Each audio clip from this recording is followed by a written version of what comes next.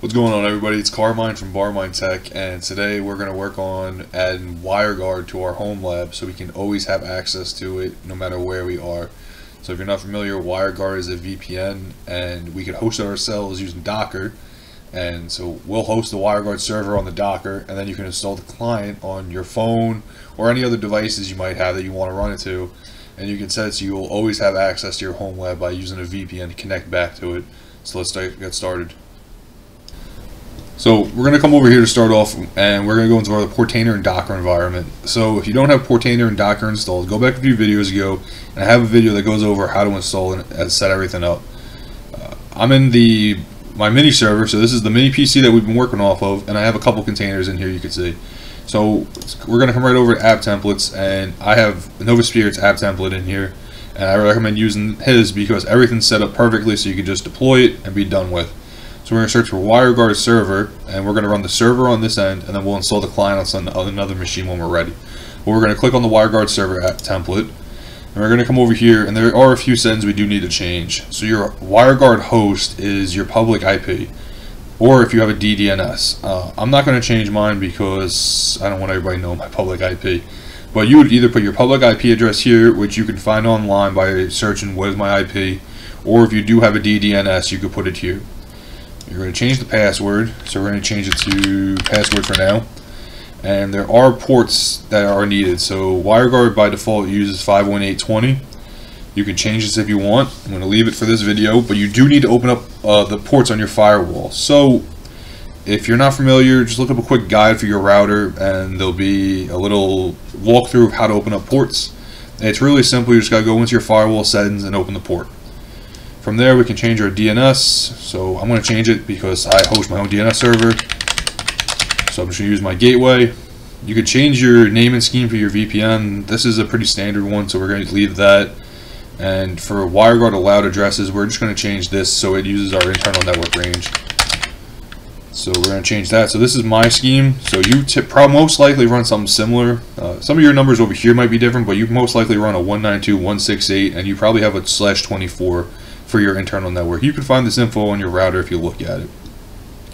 So from here, we're all set. So this actually gets installed as a stack, and Portainer will do that for us. So we're going to let this install.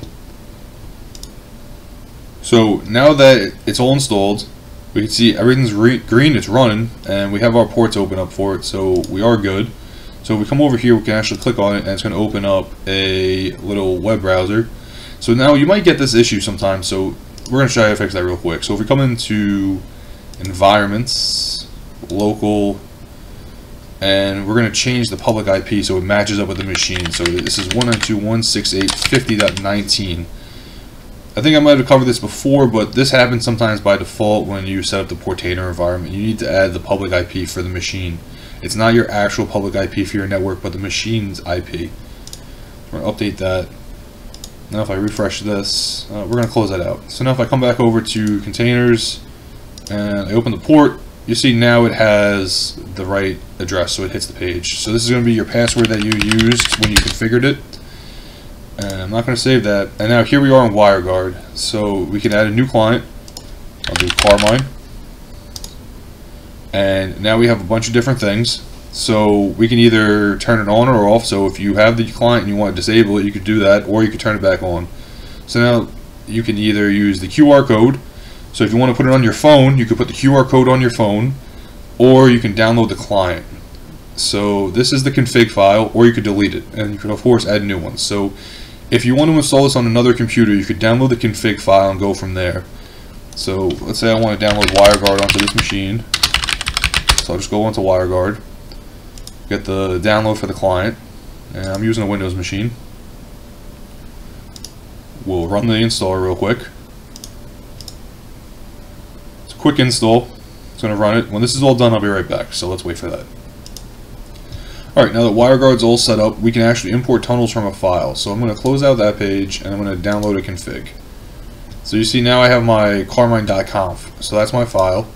I'm going to open this up and let's see we're coming to downloads, and here's my that, and I can just drag it right in.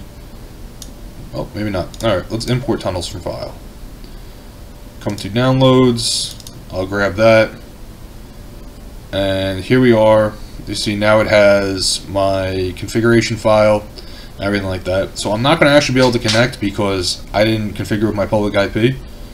So we could actually come in here and I'll do this so it can. So this is your actual config file. So if you ever had to change anything, you want to change your DNS or you want to change your address, and you can do it right here. So your endpoints where it's actually trying to hit. So I'll put in my router just so it can connect. But if I type the address right only. One.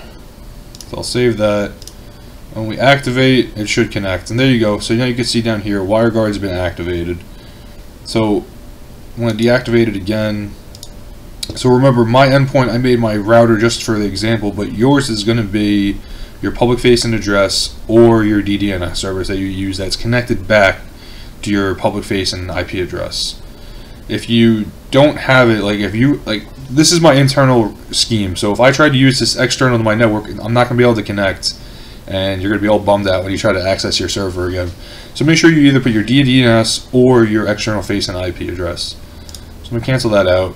Uh, it's a simple video. You could also download the QR code and put it on your phone. So WireGuard does have an app, and you can put the, the QR code into there, and it'll make it so you can connect right in. I've used it a couple times so I could access my 3D printer server, and it's a great thing. Works perfectly. So I know this was a quick video, but I just wanted to go over how to install WireGuard as the Docker container on your new home lab server. So having a VPN is a really great tool because it makes it so you always have access back to your home lab no matter where you are. So if you have it on your phone, you could always pop in real quick and you could access one of the pages. You can see what's going on. If you have Pi-hole, you could access Pi-hole through your internet off your phone. So you could tunnel back into your house and you could access your Pi-hole wherever you are, which is a nice little trick. Uh, if you have other services that run in your house that you want to access, it's always nice because you could reach them off your phone. Or if you have another laptop or whatever you want to use outside your network, you always have it. You also have encrypted traffic back to your house if that's what you want to run. So I know this was a quick video, but I think this is a great tool to have. Uh, having a VPN is very convenient. I use one every day so I could access my servers back in my house and work on and tinker with them as I need. So this was a shorter video, but we're going to keep building off of it. So we needed the VPN for one of our other projects that we're working on. So stick around, and I have another video coming up soon that we're going to be building off of this with. So thanks for watching. I'll see you in the next one.